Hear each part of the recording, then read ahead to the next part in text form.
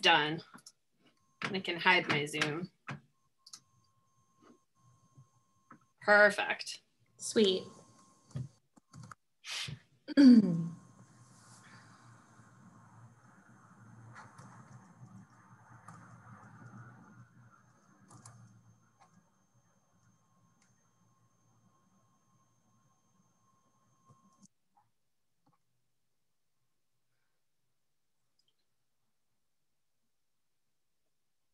Okay, I'm just gonna go ahead and get started. Uh, welcome everybody. My name is Rachel Hasna. I am with the University of New Mexico's Division for Community Behavioral Health. Uh, this is our Law and Mental Health Didactic Series. Welcome, thank you for joining us. Um, just a couple of quick announcements about our CEU process. In the last five minutes of the lecture, we will submit a evaluation link in the chat. If you use your mouse to um, toggle the menu at the bottom of the screen of your Zoom screen, you'll see an icon for chat. Click that, that'll bring up your chat box. Um, that's where you can retrieve the evaluation link. You'll click on the link, copy and paste it into your browser, fill it out. Uh, the evaluation, uh, at the end of the evaluation, a certificate is automatically generated for you. It is your responsibility to save a copy. Um, uh, automatically generated, sorry. Um, you, if you're on your smartphone, you can take a screenshot of the document. If you're on your laptop or your computer, you'll want to save a copy either as a, as a Word or a PDF, whatever works for you. If you're joining us by phone and uh, you need the link, you can just email me and I will email you the link for the certificate. We will be towards the um, end of the week, I will be sending out the recording link um, from the lecture as well as copy uh, a copy of the PowerPoint. Um, and I believe that's it. So I'll hand it over to Julie. Thanks so much. Thank you, Rachel. Uh, welcome everybody to the University of New Mexico Law and Mental Health Didactic Series. The series is hosted by the University of New Mexico Department of Psychiatry and Behavioral Sciences and the New Mexico Behavioral Health Services Division. We're so glad to have you all here to join us today. My name is Julie Brovko. I'm an assistant clinical professor in the Department of Psychiatry and Behavioral Sciences. So first, I wanna remind you to join us next week. At that time, um, Dick Rogers is going to be presenting Feigned Mental Disorders, Empirically Informed Forensic Practice. Next, for our talk today, um, please ask questions in the Q&A anytime you feel comfortable, but just know we're probably not gonna get to them until the end. And also, we always try our best to get to as many of your questions as possible. Please forgive us uh, if we can't get to yours. Um, now, for those of you who want your CEUs but are on a tight schedule, you do have to stay for that full hour, but you don't have to stay longer than that. Um, I'll try to let you know when the hour is passed, but we will likely be staying on longer to address your questions. So now it's time for what we've all been waiting for. I'd like to introduce to you our speaker for today, uh, Kaitlyn McLachlan. She is a clinical professor, or I'm sorry, a clinical psychologist and an assistant professor in the CPA accredited clinical psychology program at the University of Guelph in Ontario.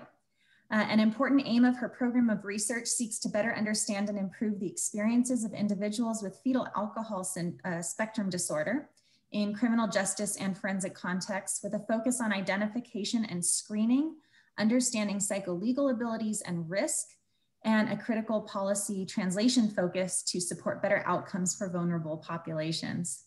Dr. McLachlan, on behalf of the University of New Mexico, the Department of Psychiatry and Behavioral Sciences, and New Mexico's Behavioral Health Services Division, I'd like to welcome you and thank you for presenting today. We're so grateful for your time and expertise, and I'm now going to turn it over to you. Terrific. Thank you so much, Julie, for the warm introduction and welcome. And thank you everyone for joining us today. And um, I'm really appreciative of the invitation to join this fabulous um, seminar group and, and have an opportunity to share with you about a topic that I'm really passionate about.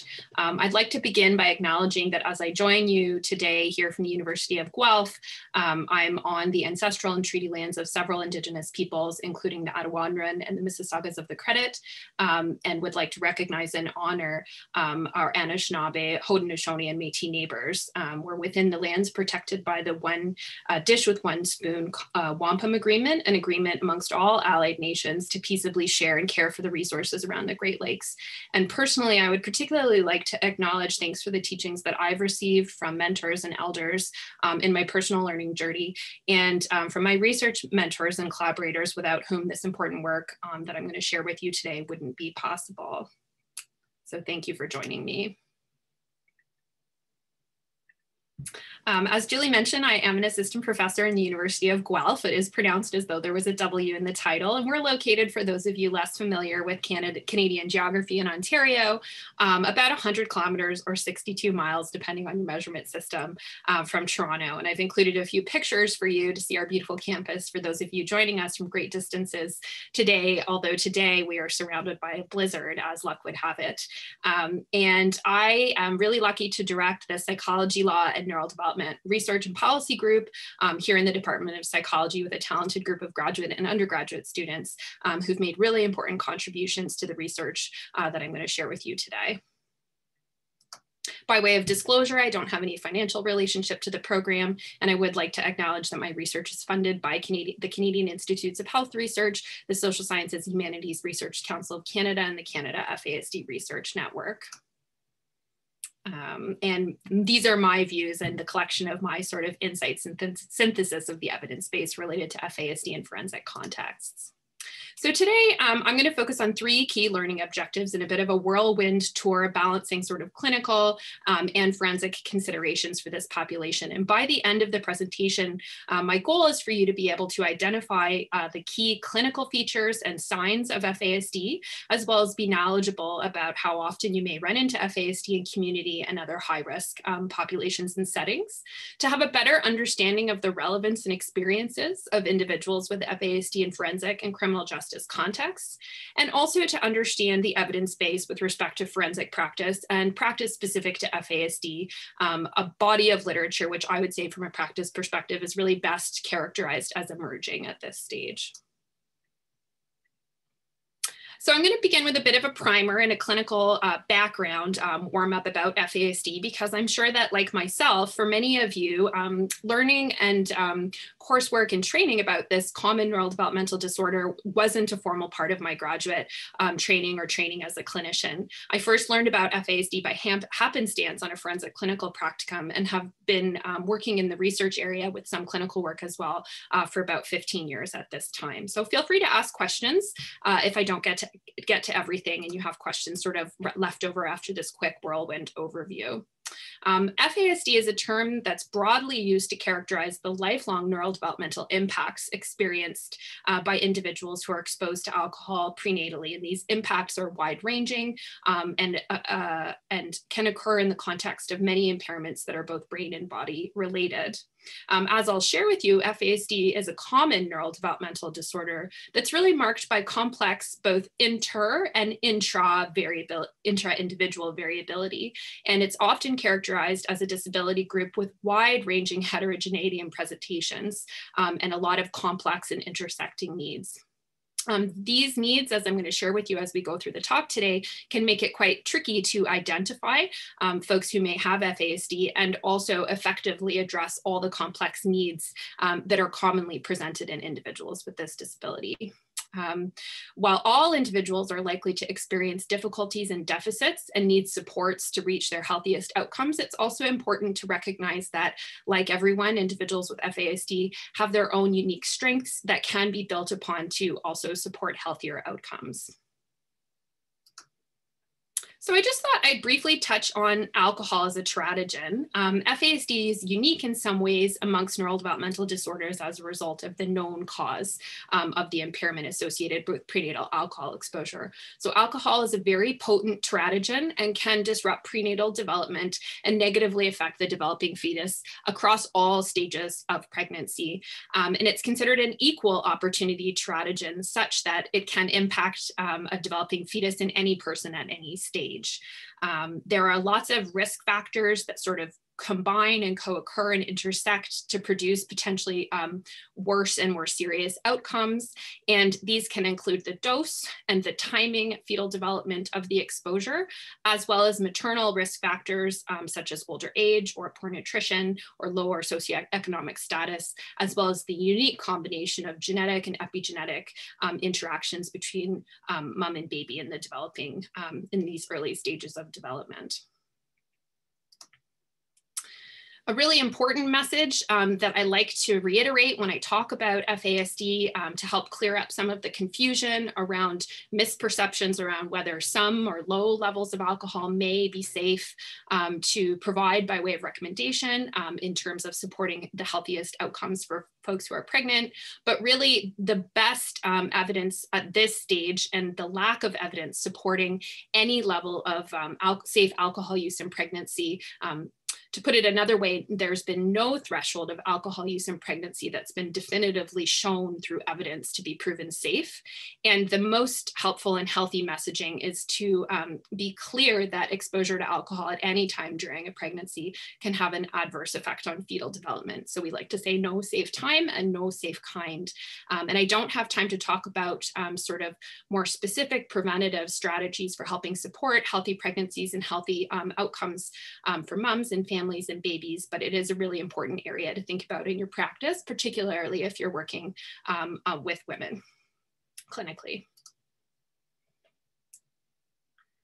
So it's a little bit tough at this stage to uh, provide a reliable or really precise estimate of the rates or prevalence of FASD in community settings. Estimates vary for a lot of reasons. There are not a whole huge number of really um, generalizable widespread spread population level studies. And as I'm going to share with you in a little bit, the diagnostic criteria and terminology that we use to identify and diagnose folks on the FASD spectrum vary from place to place.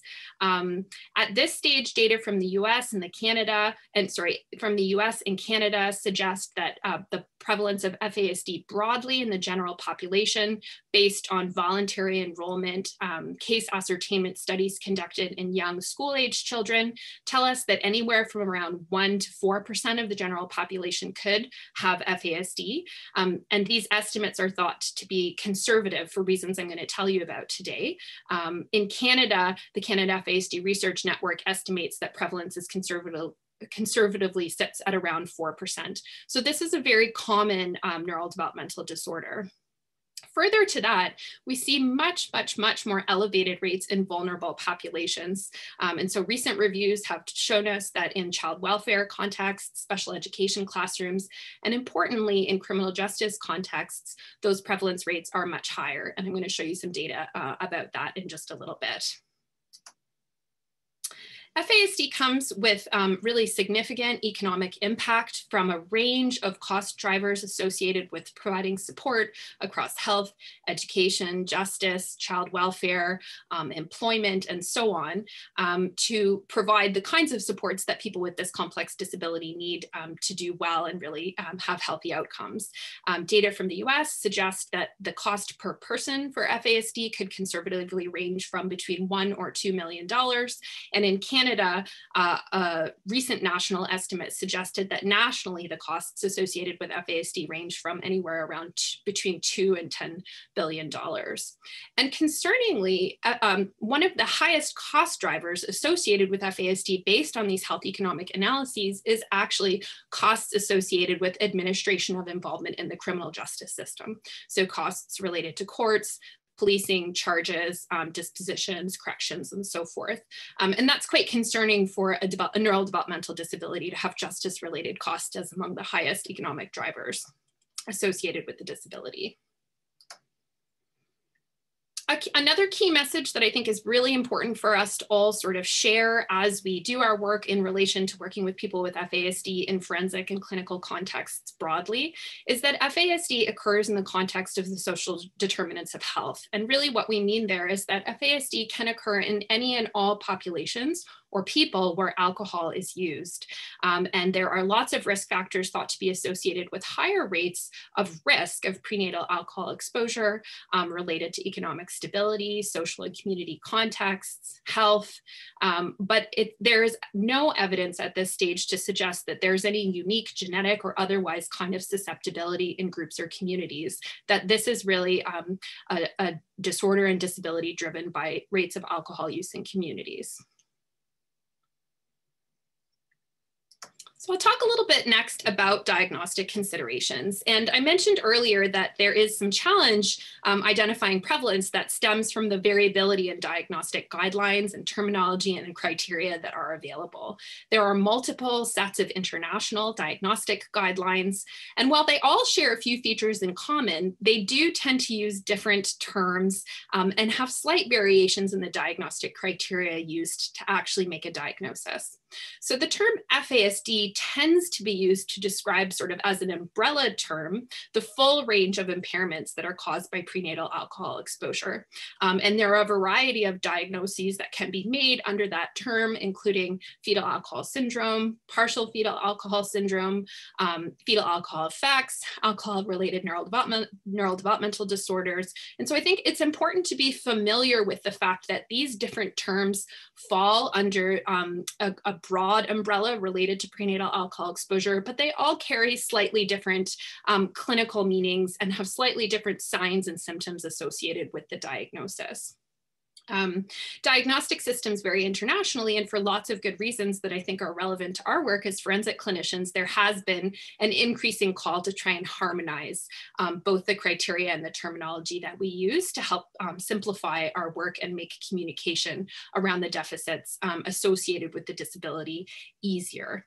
Um, However, across different systems, most include the common recommendation, recommendation that clinicians um, include, uh, that clinicians um, have special training and are FASD informed if they're going to go about making a diagnosis of FASD or working um, closely with a client who may have FASD, and that the best sort of gold standard remains a multidisciplinary um, team approach to diagnosis that commonly includes a physician, um, this may be a pediatrician or a, a, family physician or a dysmorphologist, a geneticist, um, as well as a psychologist or neuropsychologist. And then depending on the age and stage that we're talking about, other members may also be part of the diagnostic team, including speech language pathologists, occupational therapists, and social workers.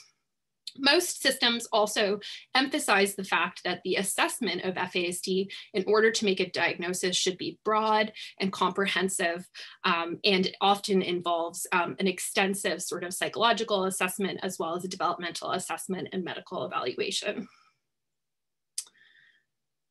So I'm going to show you some of the key diagnostic features that in one, in one way or another are considered in most diagnostic guidelines. And there are sort of four main areas that um, are commonly considered when making a decision as to whether a diagnosis under the FASD umbrella makes sense. The first relates to facial dysmorphology. And here we're talking about the key sentinel facial features. So having a smooth philtrums, that like um, groove right above your lip, a thin circumference of your upper lip, and short palpebral fissure lengths. Um, those three features together are actually thought when present together um, to be quite specific to the effects of prenatal alcohol um, exposure um, during development. However, um, it can be a little bit um, challenging to identify FASD because evidence increasingly is telling us that the majority of folks with FASD don't actually present uh, with overt or discernible facial dysmorphology. And what this means is that FASD is common referred to as an invisible or difficult to detect disability because there aren't um, sort of key cardinal overt physical features that are easy to see and folks with a disability tend to be misunderstood and misdiagnosed. Um, but for some, when there's a sufficient amount of alcohol that um, is is um, exposed during weeks three or four during their early stages of fetal development, there can be um, dysmorphic facial, facial changes. Some diagnostic systems um, recognize the importance of um, restricted fetal growth and will use measurements of head circumference, height, and weight um, as considerations when making a diagnostic determination. And for most of us, thinking from a psychological perspective or as perhaps non-medical clinicians or clinicians who aren't working in an interdisciplinary um, diagnostic team, um, will see considerable and wide-ranging neurodevelopmental impairment across domains including cognition and both behavioral and affect regulation. And I'm gonna unpack those a little bit more for you in a moment. Depending on the diagnostic system, um, prenatal alcohol exposure is typically required to be confirmed. And as you can imagine, this can make it complicated um, if you can't get reliable information confirming um, an above minimum threshold exposure to alcohol or use of alcohol during pregnancy. Um, some diagnostic guidelines, when the presence of other features are there, don't require this a confirmation of prenatal alcohol use, but in most cases, it is required to confirm. And this can be quite challenging, particularly when working with older adolescents and adults and trying to get this information retrospectively for many reasons, um, including stigma stigma, um, legal concerns about disclosure and what that could mean for um, any potential legal implications for the child or other children in the family, um, and a traditional blaming and shaming of uh, women and mothers around use of alcohol in pregnancy.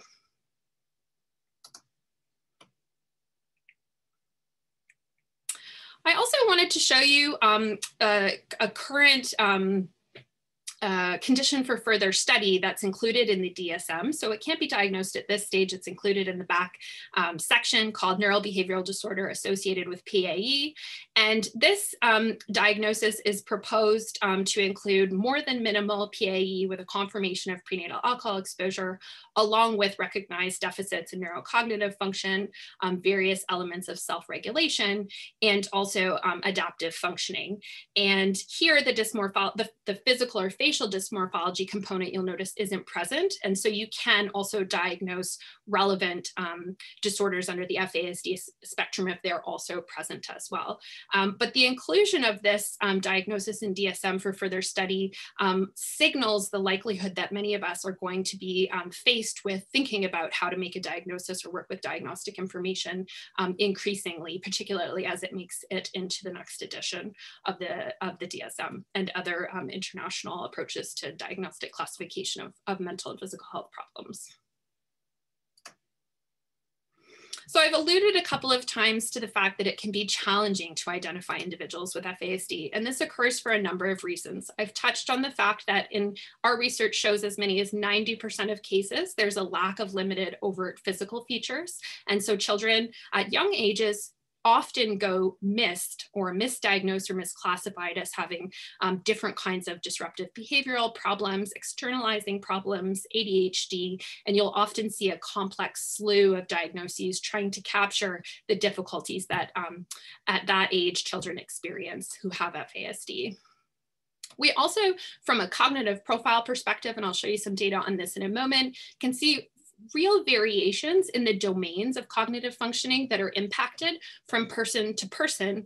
And like, like many other conditions, a masking of deficits. So you may have um, an overall uh, IQ or overall level of intellectual functioning that's sort of borderline or low average with much more prominent, prominent deficits in executive functioning or memory um, or language related deficits that can be sort of hidden um, and not obvious until you really start getting into a more comprehensive evaluation. And this can contribute to not only misdiagnosis, missed diagnosis, but misdiagnosis.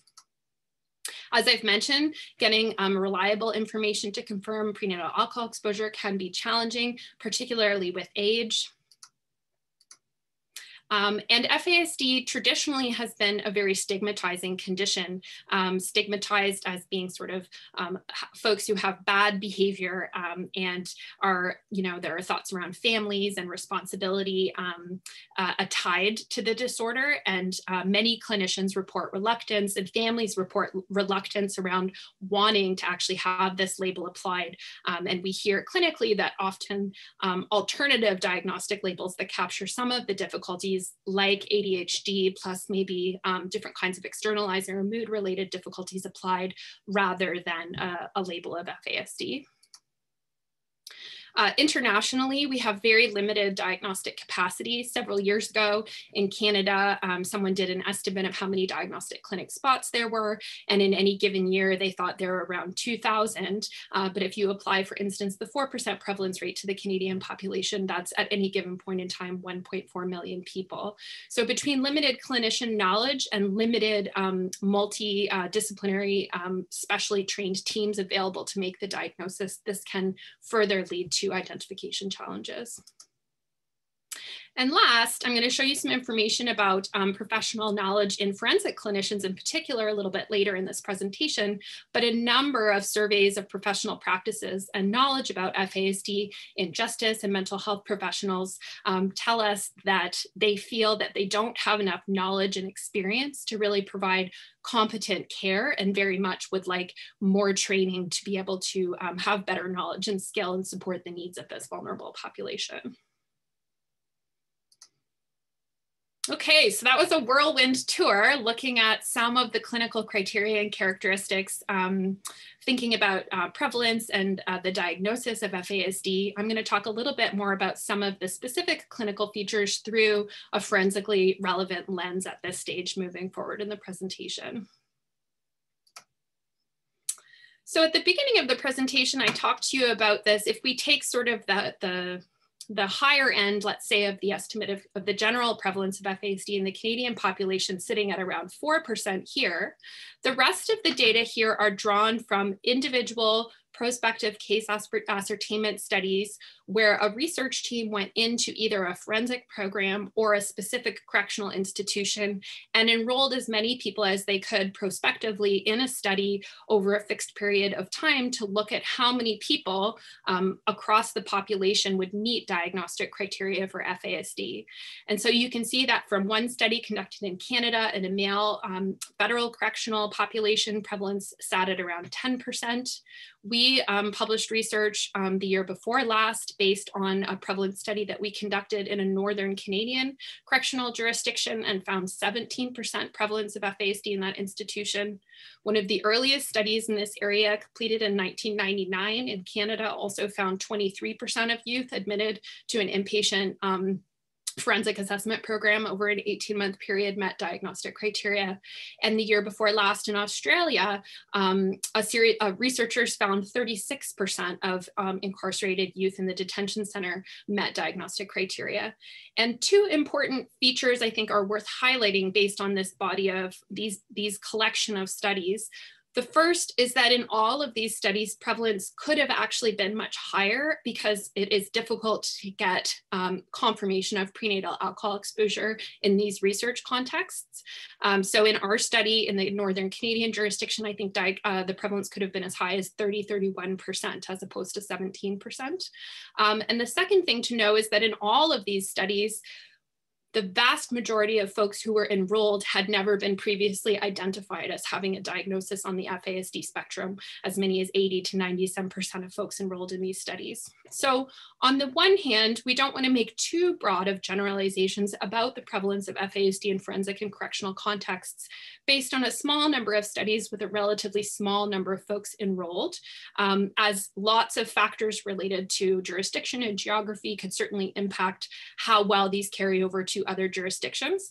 But these studies combined with other evidence that we have, and I'm going to talk to you a bit more about that today, um, really do start to cement and provide an evidentiary basis for the overrepresentation or certainly the elevated rates of folks with FASD in correctional and forensic contexts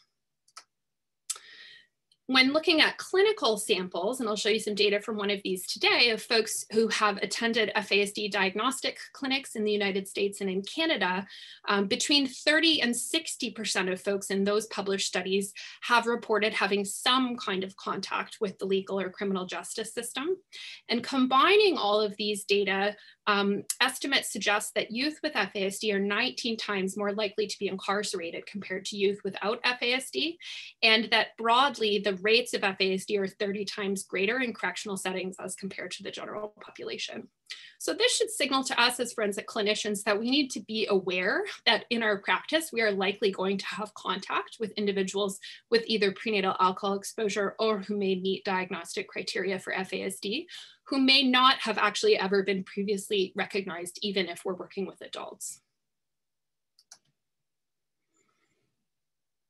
So I'm going to talk to you a little bit more specifically today about the legal implications of FASD, but looking broadly at a review of case law decisions internationally, we've seen FASD as a disability um, sort of accepted and considered relevant across a range of criminal matters and cases, um, including um, decisions at sentencing in terms of determinations of disposition, looking at whether FASD should be considered as a mitigating or aggregating factor um, in transfer decisions and in the United States in capital decisions and internationally in decisions around special provisions around dangerousness for extended kinds of sentences.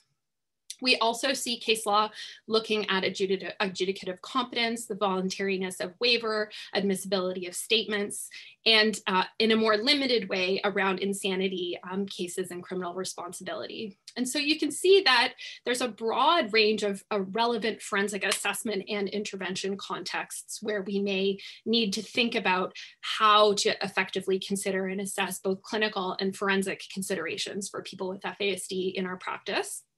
Um, and FASD broadly is seen by many at this stage to challenge common assumptions of the criminal justice system. And this can be an area that we sort of need to navigate when we're doing evaluations or making recommendations. Um, in particular, the premise or the idea that the assumption that people act in a voluntary manner that's determined by sort of individual free will and that individuals have the necessary capacities and abilities to make informed and voluntary decisions with respect to their rights, decisions to commit crimes, and to, for instance, um, adhere to conditions of supervision on release. Um, and the principles of individual responsibility may not be appropriate assumptions in this case. And a number of legal scholars have suggested that applying traditional um, dispositions or means of um, adjudicating and, and um, managing or supervising um, individuals with FASD uh, who come into the contact with the criminal justice system may not produce the kinds of intended outcomes, reductions in recidivism and rehabilitation outcomes that they are designed um, to tackle. And this can be very frustrating for individuals, families, clinicians, um, and folks um, in the legal profession. Um, and uh, it people with FASD are commonly described as experiencing a revolving door um, cycle through the criminal justice system, where by the time they enter the system, they're just not able to um, effectively engage or follow supervision and rehabilitate, rehabilitation considerations and desist and exit the system.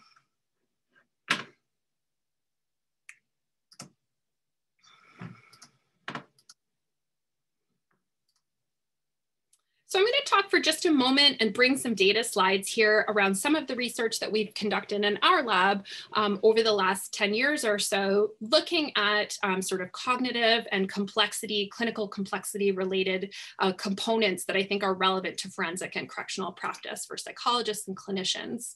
So when I mentioned that neurodevelopmental impairment is a core feature, particularly vari variable um, impairments in neurodevelopmental functioning, these are the domains under the Canadian diagnostic criteria for FASD that are considered. And so we may see deficits across any of these areas. Um, particularly relevant to criminal justice considerations include overall cognition.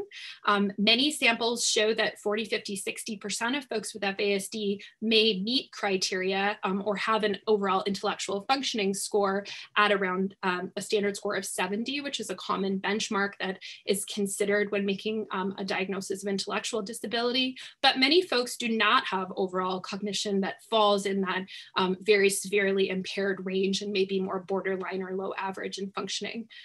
At the same time, while they may have that overall cognitive score, higher order functioning related to language, memory, and in particular, hallmark of FASD um, is thought to be around um, deficits in executive functioning. So the ability to plan, um, organize oneself, inhibit um, urges, and um, engage sort of really behaviorally effective ways that can flex um, and shift to meet the needs of any given situation are commonly seen as impaired in this population, as are um, pretty significant impairments in adaptive functioning.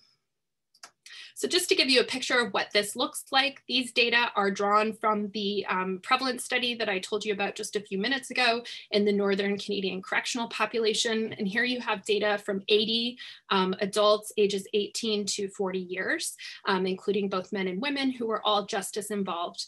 And on the bottom, um, sorry, the, the Z-score line got off my y-axis just a little bit, but you can see that here zero would be reflective of average or sort of average neurotypical functioning.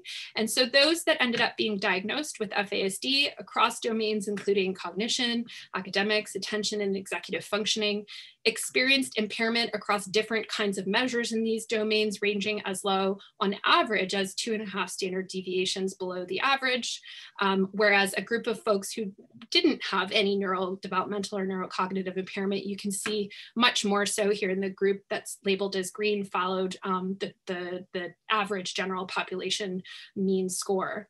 Um, those who we couldn't rule out prenatal alcohol exposure and thus FASD, um, who may have met diagnostic criteria, you can see in the red group here with the dashed lines, looked much closer to those who ultimately were diagnosed with FASD.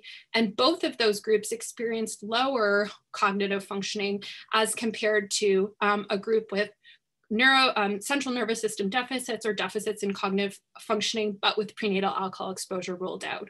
So you can just sort of see the, the depth and breadth of the impairment um, from this one study as an example. Um, here are data from um, adolescents and adults who were seen in diagnostic clinics across Canada between 2016 and 2020. And again, you see those same domains of neurodevelopmental impairment across the bottom. And here, rather than average sort of standard scores, we were looking at how many um, folks across each of these domains of impairment had significantly impaired functioning, often measured at one and a half or two standard deviations below the mean on standardized measures of cognitive functioning in these areas. And so I show you this shot slide just to show you the very broad range um, of impairment seen in this sample and to also show you that irrespective of whether people presented with the dysmorphic facial features and other kind of physical indicators associated with PAE or without, um, overall rates of impairment were pretty comparable and quite high. So by way of example, in the domain of executive functioning, over 80% of people who received the diagnosis through clinic, um, nearly 80% of folks had significant impairment in the domain of executive functioning. Not only do they have lots of individual areas of, of impairment, but here I've shown you the mean number of domains. So here of these 10 neural developmental domains, on average, they had significant impairment in between five and six areas of impairment out of the 10. So variable impairment, but a great deal of impairment and across a lot of domains. These cognitive impairments and impairments in neural developmental functioning can lead to lots of behavioral presentations that I think are highly relevant for legal considerations across a range of psycholegal abilities and correctional and forensically relevant decisions. So folks with FASD are commonly described as having very significantly impaired ability to reason, communicate, make reasoned decisions um, that weigh consequences appropriately. Um, lots of these kinds of impairments are similar for those of you who attended the webinar last week around sort of very young adolescents and their decision making and risk taking behaviors. Um, folks with FASD are commonly described as having very um, delayed or immature psychosocial skills and being more suggestible and at risk of potentially, for instance, confabulating during interviews or um, at the far end of the spectrum entering um, invalid false confessions. Um, folks with FASD and other neurodevelopmental disabilities are often described as seemingly remorseless when it may be more reasonable to understand um, this inability to show sort of an emotional um, taking of responsibility and understanding of consequences through a neurotypical lens, which is commonly expected um, in legal contexts. Um, we see a lot of inappropriate or maladaptive behavior, including some evidence suggesting in, inappropriate, um, uh, common, um, commonly commonly demonstrated um, rates of inappropriate sexual behavior, problems with thinking flexibly, problems with predicting consequences, and problems with adhering to conditions. So we hear commonly um, from folks in the field talking about how um, individuals with FASD, even if they say that they understand when you talk with them about the conditions they have to follow for community supervision or release or bail, um, have real difficulty remembering those conditions and actually making decisions and choices that don't involve breaching those decisions. And so we see um, common concerns around high rates of administration of justice or breach related charges for this population as well compounding this cognitive and neurodevelopmental impairment are very elevated rates of adverse prenatal and postnatal life experiences. And you'll recognize many of these um, cognitive and adversity related factors as factors that also increase risk for, for involvement in the criminal justice system, increase risk for recidivism, and for poor outcomes. So a number of studies show that youth with FASD uh, experience a whole range of additional prenatal exposures and adversities, such as um, concurrent substance exposure, um, early preterm birth, um, and other kinds of difficulties.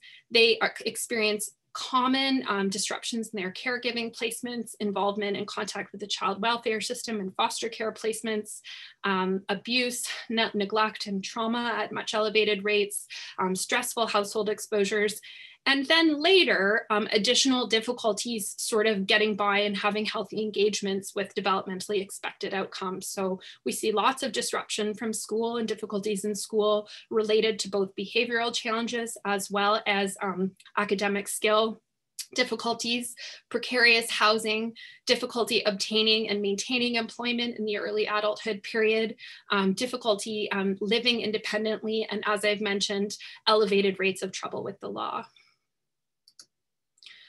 These data come from that same study of adolescents and adults that I showed you just a moment ago, seen in Canadian diagnostic clinics. And we wanted to take a snapshot of current difficulties being experienced in everyday life by folks as they attended clinic. And so here you can see the data divided into adolescents, transitioned age youth, so around ages 18 to 24 years, at that precarious time that's often quite a vulnerable period for individuals with FASD and other neurodevelopmental disabilities, as well as adults. And so we see the expected um, significant differences in age differences and trends. So much uh, elevated rates of problems with employment, for instance, for transitioned age um, adults and youth and lower rates of that difficulty for adolescents.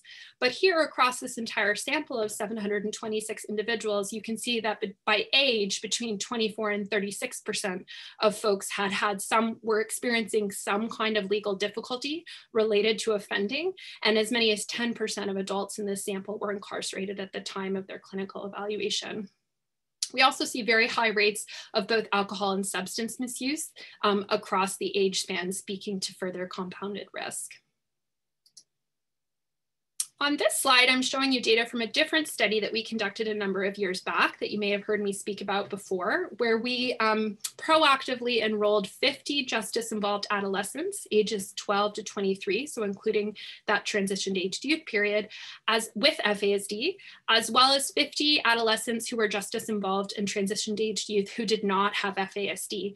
And we looked at some of these early experiences of, of adversity and clinical needs in the population, and we found not surprisingly surprisingly, because rates of these kinds of difficulties are very elevated in justice and correctional and forensic populations broadly, high rates of these experiences across both groups of youth, but significantly elevated rates of physical abuse, neglect, and child welfare involvement for youth with FASD who are justice involved specifically.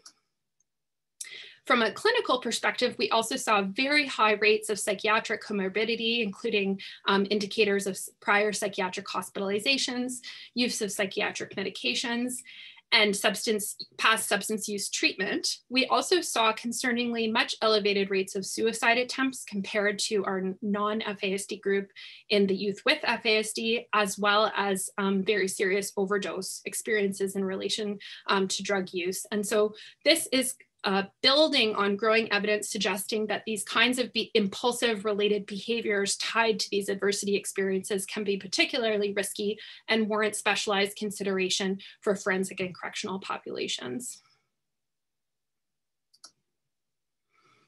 So I just mentioned comorbidity. It's very common, and in fact, more so the rule than the exception, that somebody with FASD may also have a comorbid mental, mental or physical health concerns.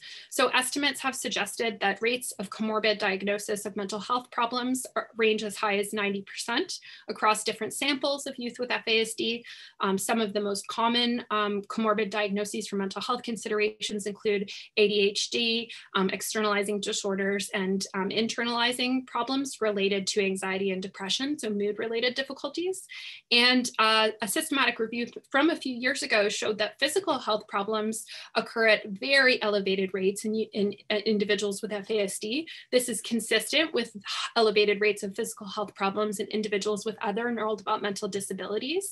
Um, and I've just put together some of the common things that you see present comorbidly in individuals with FASD, ranging from sleep disorders, eye conditions, additional kinds of genetic problems or dysmorphology, elevated rates of seizure disorders, dental and palate problems, and asthma and respiratory problems.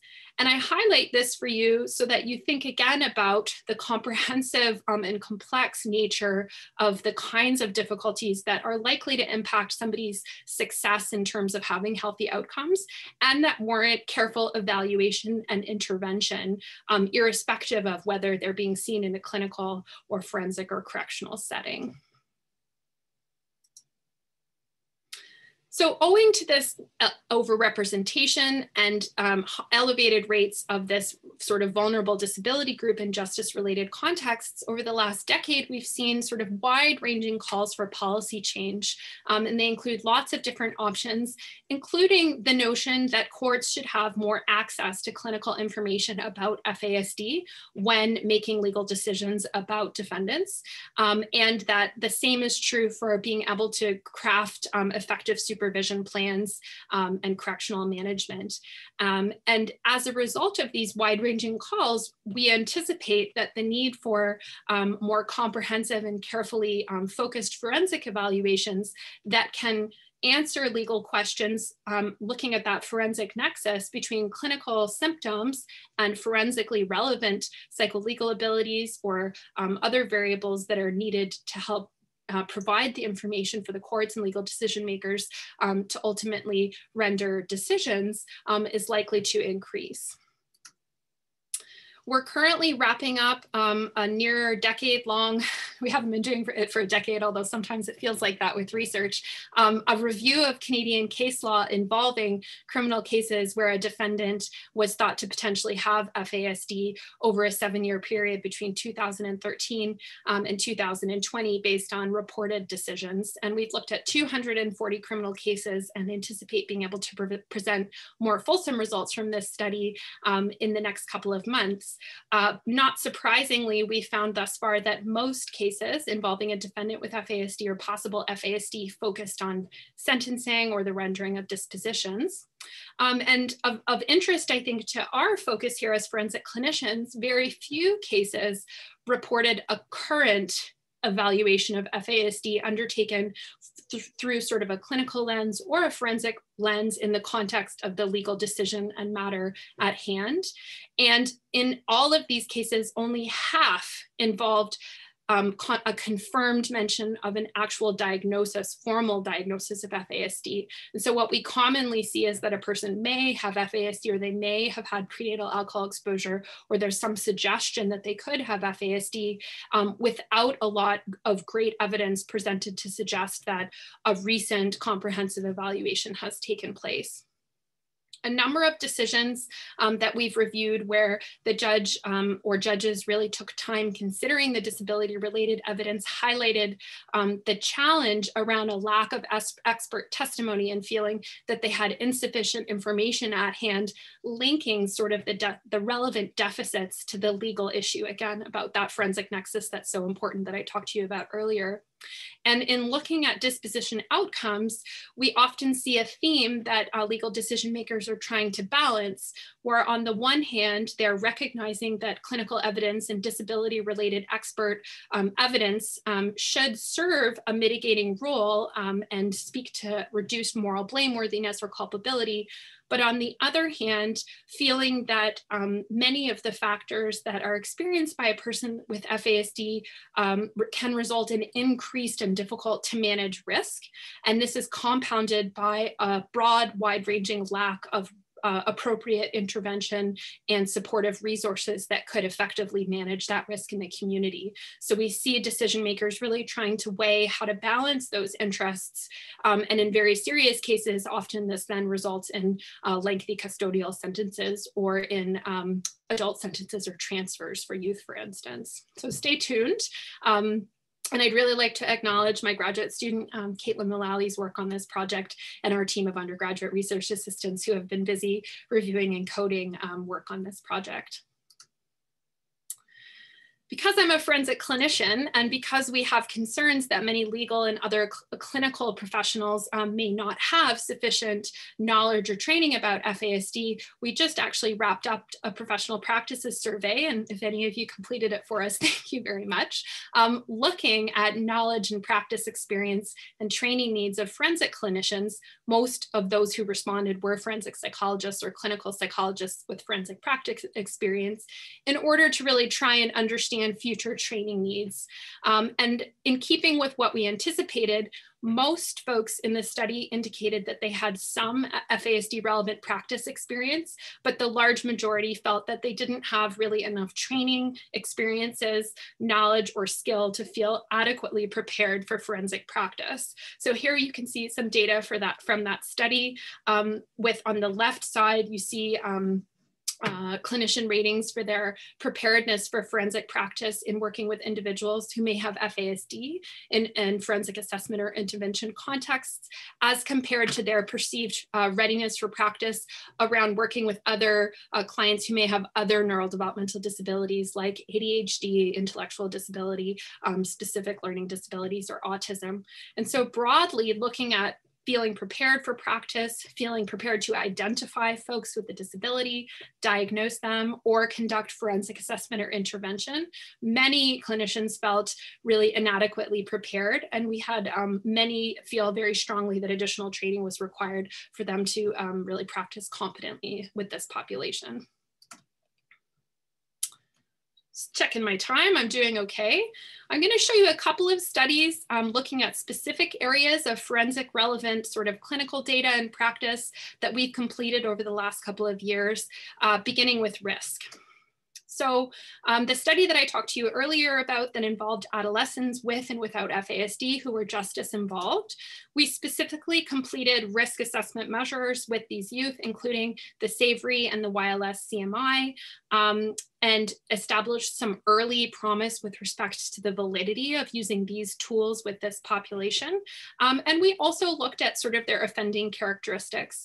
And we found that youth with FASD in this study had an earlier age of first arrest, that they had a very high rate of recidivism or rearrest in our one year follow up period. So 92% um, at baseline were rated as high risk to reoffend, and they had more rapid and higher recidivism rates during our follow-up period. Um, there was no difference in terms of the type of offense that youth in this study had committed, so they were broadly involved a mix of folks engaged in both violent and nonviolent offending. Um, significantly more youth with FASD in this sample transitioned to the adult justice system. And we found that protective factors played a really critical but inverse role related to recidivism. So youth with FASD presented with many fewer protective factors, but the absence of those factors was very strongly related to increased recidivism risk. Um, so you can check out that paper if you're looking for um, more evidence supporting uh, the validity of forensic tools um, in this population. So here are some of the risk factors and domains that we looked at comparing youth with FASD without. And so you can see that uh, historical factors related to um, early offense histories and other kinds of early abuse experiences, for instance, as well as the individual clinical factors related to impulsivity, for instance, and aggressiveness um, were significantly elevated in the youth with FASD as compared to the youth who didn't have FASD. And the same pattern was true looking at data from the youth level of service case management inventory inventory. We've also completed research looking at deficits in psycholegal abilities re relevant adjudicative competency and rights comprehension. So understanding their rights upon arrest, Miranda rights or charter rights, depending on where you live. Um, and also um, I'll, I will not show you data on this, but we did find elevated rates of false past uh, past false confessions or false confessions in the context of plea deals at a rate of around 40% in that sample.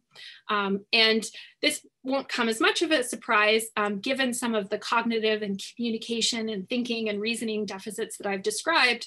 Um, but in this same sample of justice involved youth that I've been telling you about, we found higher rates of impairment in those with FASD across psycholegal abilities relevant to um, rights comprehension using the Miranda rights comprehension um, instruments as well as understanding, appreciation, and communication using the fitness interview test revised.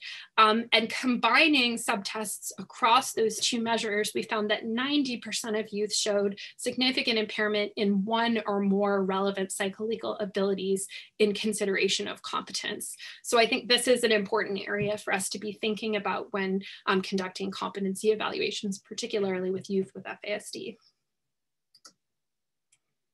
Um, this is just a little side journey into talking about forensic assessment instruments. We know that it's really critical that there be scientific sort of um, psychometric um, reliability and validity and broad acceptance of the utility of forensic assessment instruments when using them um, in forensic evaluations. And there has certainly been increased attention to the relevance of being able to generalize data from broad populations to specific subgroups, either based on personal characteristics or on clinical characteristics characteristics.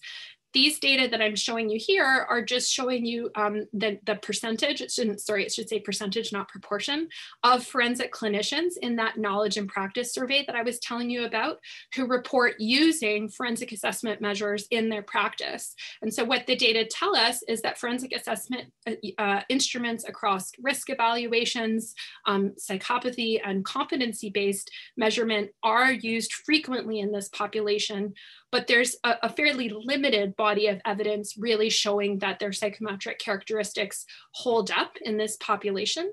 Um, the study that I told you about earlier, looking at the SAVRY and the YLS CMI, seemed to show um, utility in terms of predictive um, considerations around recidivism. But I think an important consideration needs to be made as well, ensuring that the clinician has appropriate knowledge and training about FASD such that they're using the instrument and interpreting items in a way that's consistent with the needs and deficits of this population and understanding what kinds of limitations um, that may place on their clinical opinions and results using these measures. We, um, turning back to that sample of 80 justice involved adults from our prevalence study, um, in Northern Canada for justice involved adults, we did look at many indicators of performance validity or effort, um, measures of performance validity and effort focusing on um, feigned or um, underperformance, particularly on cognitive measures like the WAIS, um, as well as um, Green's word memory test form very common and in fact indicated components of forensic evaluations, particularly when completing cognitive testing. Um, and when we looked at the number of individual performance validity indicators failed in those with FASD or those who we thought may meet criteria for FASD if PAE could have been confirmed, as compared to those adults who were just as involved but where FASD was ruled out, we saw that the adults with FASD were significantly more likely to fail any single PVT and also failed a greater number of PVTs overall at greater rates as compared to the non-FASD group. So I think you want to be thinking carefully in working with a client who may potentially have FASD about how and if you're going to apply commonly used performance validity tests. And this likely extends to considerations around malingering, though I haven't seen a lot of great data um, from um, forensic assessment instruments on um, that on the use of those tools in this population specifically. So just to draw your attention to, to exercising caution in the application of these tools with folks with FASD, much like you would with folks um, with other neurodevelopmental disabilities and intellectual um, disorder.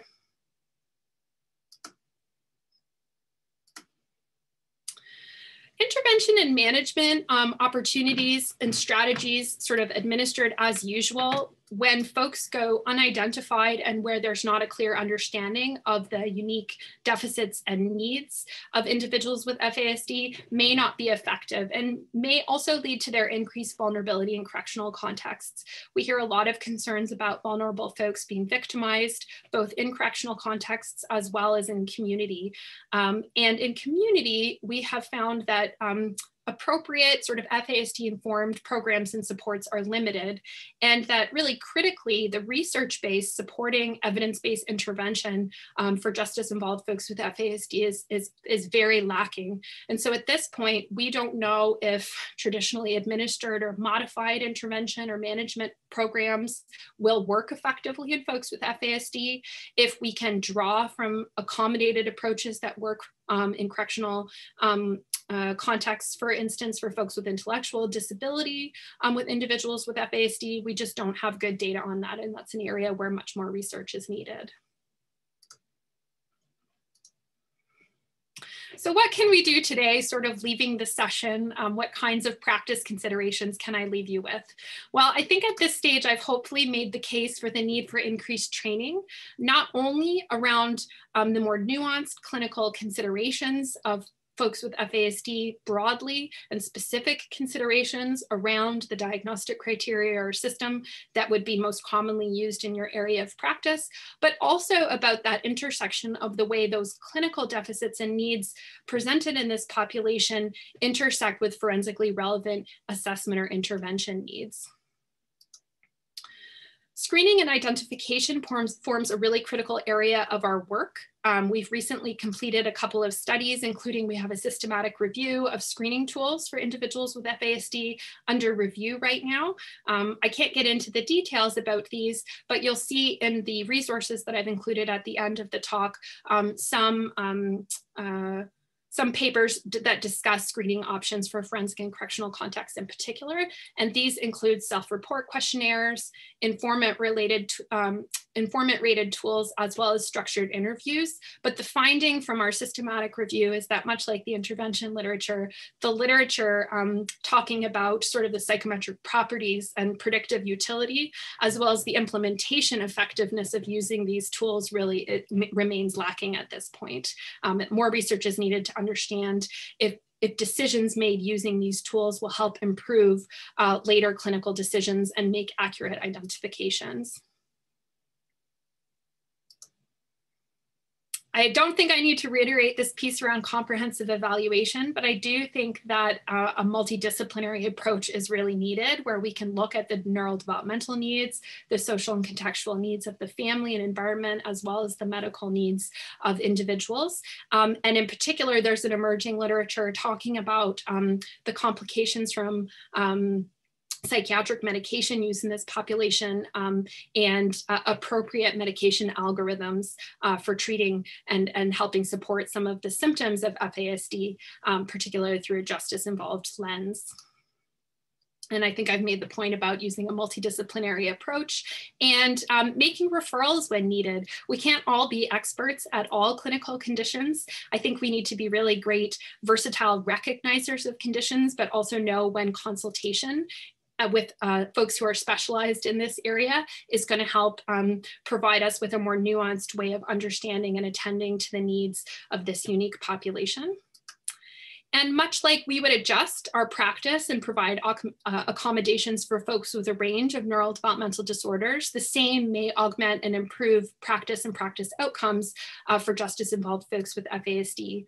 So in our professional practices survey, uh, forensic clinicians reported very commonly making adjustments to practice as usual um, in ways that included um, using open-ended questions to ensure understanding and take additional time, um, using in-depth probing, um, simplifying language, frequently checking in on comprehension, for instance, asking folks to paraphrase uh, key components of informed consent, um, or making sure that they really understand a question before they answer it. Um, commonly making sure that they use an interpretive lens when um, talking about results from forensic assessment um, instruments in the context of, of considering cognitive and adaptive um, limitations in that broader profile, referring clients for specialized assessment, taking into consideration cultural or diversity factors, um, inviting support persons to be present for different clinical activities, and also thinking about environmental changes that may support um, an improved clinical outcome, such as um, having lowered lighting or using a quiet space and um, having a session rather than a very long session, many, many short sessions. These strategies will um, the sort of common um, tools that you have in your tool belt, um, I'm sure based on the number of clients that you see and the, the, the high rates of complex needs in these populations. So just to sort of draw it to a close, I can see that there are lots of questions in the Q&A. Um, I, I, hope I've left, left you um, with the message that individuals with FASD are overrepresented in justice context and experience really complex and forensically relevant deficits and needs uh, that forensic clinicians are very likely to encounter individuals with FASD in their practice and should ensure that they have the competency to be FASD informed um, and recognize folks who may not have already been recognized um, or misdiagnosed as they enter the system. And that additional training, um, practice guidance, and really critically, um, research at the intersection of forensic and correctional sort of scholarship, as well as the clinical FASD field, is needed to best support approaches for clinical practice in this area and to inform policy reform, because policy reform without evidence um, can actually result in more harmful or adverse outcomes um, as compared to um, uh, making no changes at all. So I'd like to acknowledge my collaborators on all of this whirlwind tour of research that I've presented for you today, critically the participants in the clinics who have given of their time to share their experiences, um, funders who have made this research possible, and graduate students in my lab who contributed to many of the studies that I've talked to you today about, including um, Melissa Grube, Caitlin Mullally, and Chantal Ritter, um, who are forensic research superstars in the making um, that's what I have to present for you today. And I'll turn it over to you, Julie. And if, if for those of you who have to leave, my contact information is here. And I'm very happy for you to email me if you have questions about any of the studies or papers that I talked about today in the presentation. So thank you. Thank you so much. Um, for everyone that's still on it, it is, we're at the hour, so you're welcome to hop off. We did post the link to the CEU uh, survey. So grab that, make sure you print a copy, save a copy. We do not email you copies. We also get lots of emails about um, if we're gonna send out the slides and if this is recorded. Yes, we will send out the slides, give us about a week. Yes, this is recorded. If you, um, I think Rachel actually sends out the, the link and the password, but uh, with the slides, but if she doesn't, just email us and we'll send it to you. Okay, so let's start with some questions. We do, we have a lot of uh, really really good questions. Um, let's see here. Is FASD exacerbated when the mother also consumes nicotine? And do you just employ the DSM for diagnostic purposes or is the new ICD also helpful even though there are some nosological correlations? Those are great questions. So there are a number of emerging studies trying to disentangle the cumulative or interacting effects of prenatal alcohol exposure with other substances. Um, we often see elevated rates of really potent comorbid substance exposure prenatally, like cocaine use. Um, there's a whole host of research right now looking at um, cannabis use with legalization um, and other kinds of factors. Um, I can't say that there's a really clear singular pattern around um, intersections of various substances, but we do know that with increased risk and increased prenatal adversity, we're increasing then the risk of the range and extent of kind of deficits that we may see after the fact, and um, that a whole range of animal studies have have are and are very much helping to disentangle sort of the the potency or interactive teratogenic impact of these kinds of substances. Um, in Canada, um, diagnostically, we still really rely on these specialty diagnostic guidelines, much more so as opposed to DSM. Um, some physicians will use ICD codes depending on the billing practices that are in place, uh, depending on where they work in the world um, for FAS. Um, and so I think in the United States, there are a couple of key diagnostic approaches. I've included a citation in the resources that compare many of the commonly used um, diagnostic guidelines, and that would be a helpful resource for you to check out in terms of thinking about which approach makes the most sense. Thank you. Um, other questions about comorbidity. So can you please address the issue of comorbidity with autism spectrum or the confusion between the two diagnoses? Sure. So um, a colleague of mine actually um, just um, put together a paper, and I wish I could tell you the key findings off the top of my head. Um, Dr. Valerie Temple just published a paper looking at the comorbid um, occurrence of FASD and autism, and we do see elevated risk um, of comorbidity for multiple neurodevelopmental disorders in individuals with prenatal alcohol exposure. Autism is one example, in addition to uh, seizure disorders, for instance. And so I would say clinically, um, that's a that's a whole talk for another day. Um, I don't want to unpack sort of the difference between FASD and autism in like a bite-sized question, but I'm very happy if you email me to send you that paper uh, because they do talk about differences in the profiles across those 10 um, neurocognitive domains for folks with FASD alone versus folks with FASD plus the onset of autism spectrum disorder. Um, and I would say it's the neural developmental variability um, that in some ways distinguish the two disorders. There are some deficits in sort of social cognition and some of those other more traditional aspects of autism that we think about um, in terms of presentation. Um, but I think that paper would prove a helpful resource for you. So feel free to reach out. Thank you. Um, can you also speak a bit on FASD and personality disorders? Um, this person is specifically interested in borderline personality disorder, narcissistic personality disorder, and histrionic personality disorder.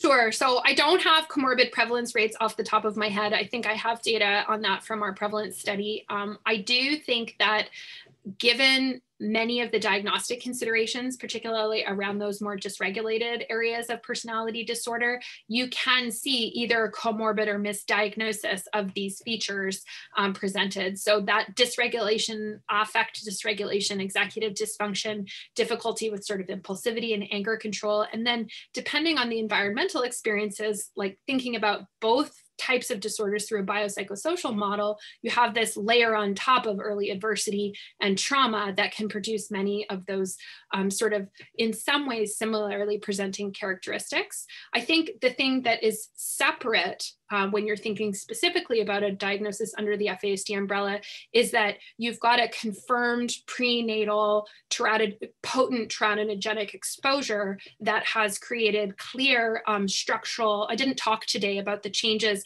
at the structural and functional levels of brain development, but a whole host of functional and structural, structural studies demonstrate clear reductions in volume across areas of the brain and impact, uh, particularly around the frontal regions.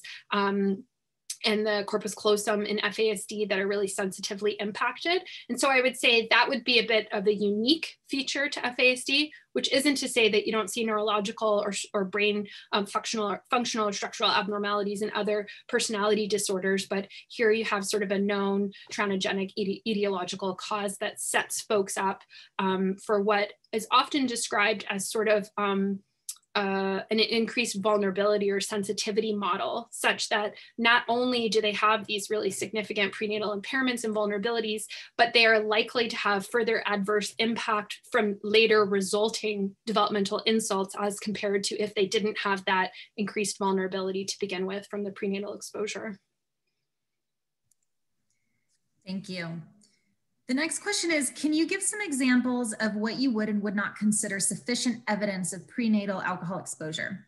Let's say prenatal care progress notes that state pervasive alcohol use or labor and delivery notes describing the mother as intoxicated versus a mother reporting it when she knows her son is facing the death penalty or a longstanding documented pattern of alcohol dependence, but not specifically during pregnancy.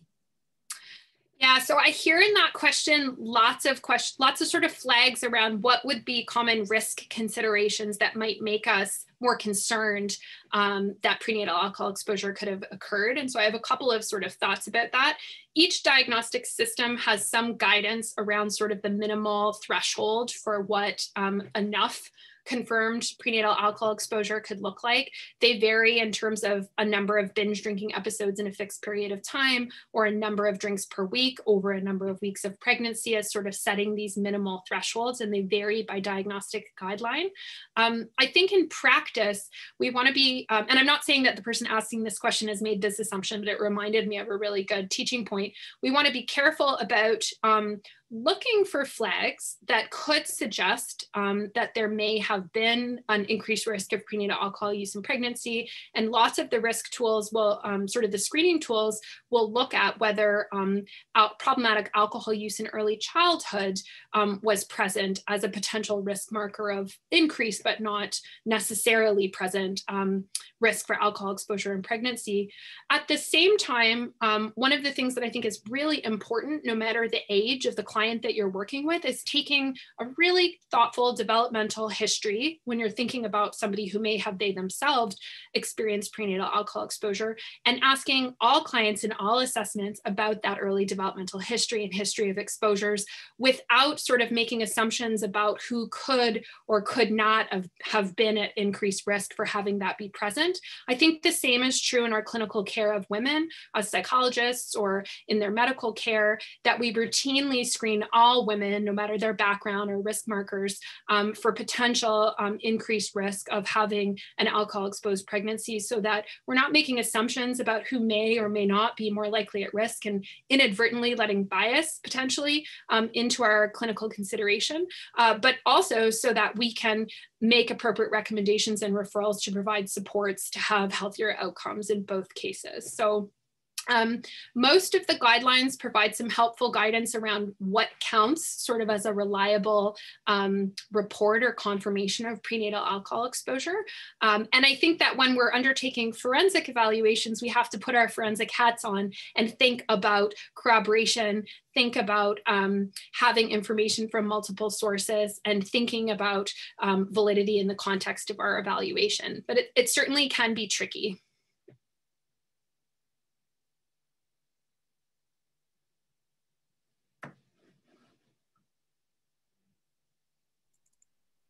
Sorry about that. No problem. Are there any clinical suggestions or treatment considerations for FASD and TBI?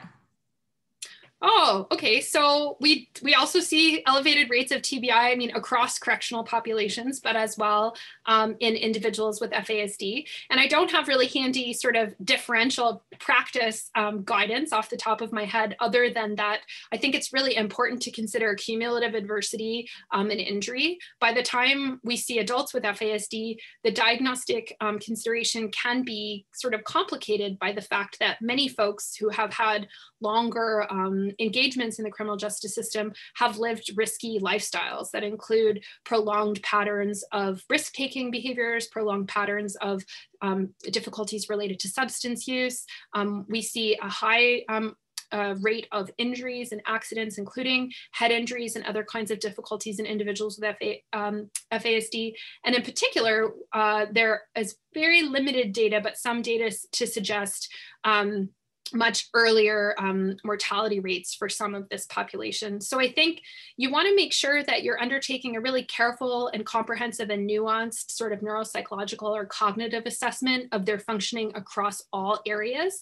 And you want to be considering um, whether, just like when we have somebody who might not have prenatal alcohol exposure as one of those competing variables, if they've had head injury, if they've had um, seizure disorder, if they've had uh, really problematic substance misuse or overdoses, or um, you know those complicating factors that we think are going to contribute to cognitive morbidity um, and, and, impairment, we want to consider all of these factors in our formulation um, and not necessarily ascribe everything to one cause or another. So it's tough to disentangle clinically, but relevant relevant. Um, I also think that particularly those of you working with younger kiddos, but also with adults, when you're thinking about adaptive functioning and safety considerations, it really is important to think about what level of independence folks that you're having may have across different areas of functioning and where they may be more vulnerable and need supports commonly provided in sort of more disability related contexts. So supports around um, healthy eating, supports around um, not they themselves um, continuing to be victims victimized by others, um, residential supports, and, and those kinds of considerations. Okay, I'm going to combine a few, um, I, they're actually more comments. So individuals are mentioning how the um, training and sort of uh, expertise in this area seems to be better in Canada than it is in the US. Um, another individual is um, commenting upon, you know, we have a lot of forensic psychologists and, psychiatrists that attended this talk today, and they're curious how many of those in attendant have, attendance have actually used the diagnosis of F FASD in a forensic evaluation. And then the third comment is really this idea of um, this individual believes that people have sort of an overconfidence in their abilities to be competent in this area and sort of mm-hmm. commenting upon the work that he sees or individuals that take cases where this is an issue maybe isn't up to par for what he he believes it should be and just sort of the especially in the child protection and juvenile justice cases um, and kind of pointing out that this might be problematic yeah, I think it is really tricky. I know that, for instance, I didn't run into anything about FASD in my own clinical training until I accidentally came across a case in practice and thought, went to my supervisor and said, well, what do you think this means? And they hadn't really had a lot of exposure or experience either. And, and thanks to some really wise guidance from a, a mentor, the direction of my career changed to directions to try and help fill that evidentiary gap. Um, one of the things that we heard in the survey from clinicians was that um, there are a lot of barriers to being able to do effective practice in this area that are not necessarily controllable by them as individual clinicians. And these included not having enough time or cost resources allocated by um, the court or within their practice or um, within the hospital, let's say, or health system that they worked in to really actually be able to spend the time or consult and bring in other kinds of clinicians to do this comprehensive um, an evaluation. And we heard them say that they wanted more time and resources to actually be able to provide more comprehensive assessments and then recommendations for the courts as compared to what they were able to provide. Um, and in Canada in particular, the jurisdiction I'm most familiar with from a practice perspective, um, after adolescence, there are pretty limited opportunities to have a funded assessment that would actually be able to not only confirm whether FASD was present as a diagnosis, but really critically look at the functional profile for that individual of deficits, needs, and strengths. And that's really what's most critical in being able to provide sort of an individually informed and forensically relevant set of recommendations or treatment practices um, for this population. So on the one hand, I do think taking additional training, um, there are lots of great courses. I try to be a bit bipartisan in terms of not recommending one or the other. Um, the University of Washington in Seattle has some great clinical training. Um, they offer online courses. And also I was lucky at the beginning of my training to be able to travel to Washington and visit and participate in a training clinic. A few clinics in Canada have that model as well and likely across the US. Um, there are some online programs for training. So for instance, the Canada Canada FASD Research Network has um, a module or a workshop that's online that can be completed for free that sort of provides a foundations of FASD training experience. And then they, along with other organizations in the, in the States and worldwide, provide um, paid training opportunities um, for for diagnostic teams, for instance, who would like to begin doing interdisciplinary evaluations. So I would say that there is a need for more than sort of the snapshot I've provided today to really practice competently in the area and have enough knowledge and skill. Um, but one of the things that we've also recently recommended in our paper um, stemming from the Clinical Forensic Knowledge and Practices Survey is that some practice guidance for what enough training looks like and what um, evidence-based guidance for assessment and intervention and consult consultation best practices would look like, I think would also be really helpful um, to, to, to provide a clear standard um, that would meet sort of tell us where that bar is um, as a discipline. So I think that sort of gets at some of those questions. Um, there are lots of resources. It's sort of incumbent on the individual clinician to access them at this stage or the team Um, but there are some real obstacles at a system level in place that doesn't support um, clinicians having enough time or resources to do the work that's needed. And, and I'm sure many of us and you have experienced um, how difficult and frustrating this can be when you feel like you're doing about a tenth of what's really needed to fulsomely address a question, particularly in cases involving, you know, very serious dispositions. So. Thank you. Um, next, we have a few questions about recommendations for people with FASD. So recommendations for probation, uh, minor children uh, in custody and divorce cases with high conflict. Um, let's start with those. So I think I'll, I'll stick more on the probation side. There's really very little evidence around civil practice, and it isn't an area that I've been working in recently um, to be able to sort of make clear recommendations around sort of custodial agreements and supervision arrangements. Um, and I don't actually know if there I'm not familiar with any papers with data published on that topic. There are probably some practice guidance papers, particularly in the social work field. I'd be happy to help you find some. Um, from a probation perspective around conditions, there's um, not a lot of sort of empirical published evidence supporting what works better. I mean, in our study of youth, we found, not surprisingly, that the average number of conditions attached to probation and supervision orders was sort of like I don't know if I could follow all of those rules. Um, sometimes as high as in the you know one or two dozen number of conditions. Um, and so I've heard certain certainly clinically and, and in terms of practice recommendations without a, a, ton of sort of hard data backing these recommendations that really simplifying these so that they're actually maintainable um, and followable, if you will, is one recommendation. Having fewer conditions and also really focusing on the conditions that need to be met and partnering those with with the supports and resources required to be able to meet conditions. So, you know, if you have a condition around housing and supervision and curfew, then you need to have stable housing and you may need reminders around curfew and other kinds of supports. So making sure that rules have appropriate supports and provisions in place to actually make them um, attainable. Um, there's also some cool work coming out of Manitoba um, where they used icons to have sort of a visual pairing um, so that you could have like the, the traditional legalese complicated, you know, legal order, but then also a set of verbal and visual icons to actually help folks have a quick and easy reminder of what their current conditions were. Um, and I've seen lots of excitement about having those additional cues, multimodal cues available to simplify things for folks. Um, there are also some really cool programs in the United States and Canada that I didn't get time to talk about today. We have a brand new specialty problem solving um, mental health court, um, an FASD court that where the docket is entirely devoted to seeing folks with FASD um, every so many cases a month in the province of Manitoba. Um, there are some specialty FASD screening court programs in the United States.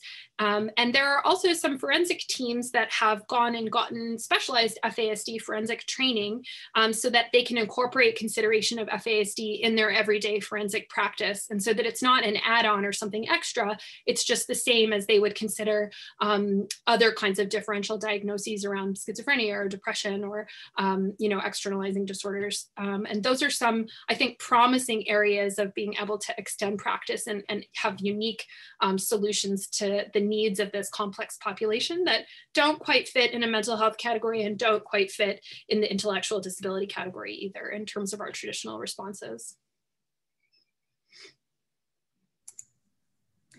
All right, we've got a couple of questions about um, how FASD is used in, in specific forensic cases. So um, the use of an FASD diagnosis in relation to um, an individual understanding their Miranda rights, and then also um, in terms of criminal responsibility. And then sure. So finish us out for today for questions.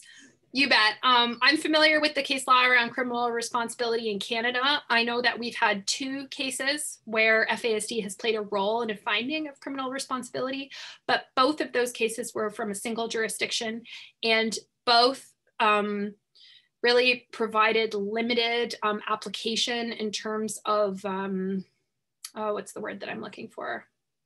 Precedent. Um, limited application of precedent in those cases because the individuals um, had multiple mental health and cognitive needs and FASD in those cases were compared, the symptoms around FASD were compared to sort of meeting the threshold that would be commonly presented in the context of thought disorder um, when someone was experiencing signs of psychosis. And I believe there may have been symptoms of psychosis in one of the cases. So courts in Canada have certainly been reluctant to um, apply NCR provisions or to have FASD alone being seen as meeting um, the legal provisions around criminal responsibility. Um, and uh, I, I, expect that jurisprudence to continue to sort of be pushed a little bit as courts become more aware and lawyers become more aware of some of the really pervasive natures of the nature of the deficits associated with the disability. Um, uh, there is more common application of FASD around psycholegal abilities and um, adjudicative competence. So there are several cases where um, in the United States and in Canada, FASD, the, the, neurocognitive deficits, particularly in folks with a more pervasive intellectual disability concurrently diagnosed, are seen as um, substantially impairing one's ability to sort of understand um, what's going on and also really impair that appreciation um, arm of the test.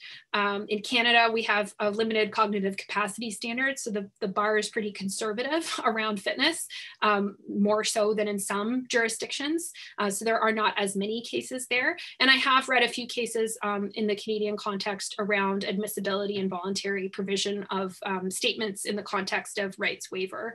Um, so there are a couple of good case law reviews um, looking at federal cases in the US and one case law review in Canada and another in Australia. The, the review in Canada actually found that FASD was the most common form of neuroscientific evidence presented amongst cases where neuroscientific evidence was presented in criminal cases. So um, if you're interested in, in sort of um, receiving those resources to look at the jurisprudence, um, we, we do our best as psychologists in this interdisciplinary way, but there are some great legal case reviews as well that I'd be happy to share with you. All right, thank you so much. This was fantastic. Um, a lot of really positive feedback in the Q and A and text messages and emails about how much everyone's enjoyed the talk. So oh. we really, really appreciate your time. For those of you that are still on, please go ahead and copy that link over or complete it. We'll probably be on for maybe another minute, but otherwise um, we'll see y'all next week. And again, thanks for your time. Thanks so much again, Julie and everyone for having me and for uh, hosting this great event. And uh, to everyone for attending today, I'm always really happy when we can uh, share more knowledge about the field. And please, I really do mean it. Um, feel free to reach out to me and all you working parents out there with kids at home, I see you. Uh, it could take a little bit of time for me to get back to you, but I'll do my very best as, as we are navigating this pandemic and complicated, unique times together. All right. Take care. Thank you. Thanks so much, Kaitlyn. Thank you Bye -bye. so much, Kara, for your um, services. Oh, thank you, Kara, very much. I this was a very cool experience. I, I hope I hope I didn't go too quickly for you. Awesome, wonderful. I really appreciate up. it. Great. So we've been on for a half hour after the lecture. Everybody should have grabbed the CEU link. So we're going to log off and thank you everybody for joining today. Have a great day.